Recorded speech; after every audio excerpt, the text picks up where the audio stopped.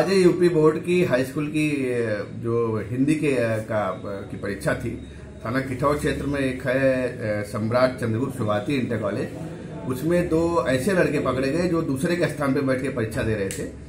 इसमें उन, उन्होंने जब चेक किया वहाँ के केंद्र व्यवस्थापक ने तो उन, उन्होंने पाया कि ये असली परीक्षार्थी न होकर उनके स्थान पर कोई दूसरी परीक्षा दूसरा व्यक्ति परीक्षा दे रहा है। उन दोनों को कब्जे में लेकर थाने आए हैं। उसमें एक एफ़ आई आर केंद्र व्यवस्थापक की तरफ़ से की जा रही है और विधिक कार्रवाई की जा रही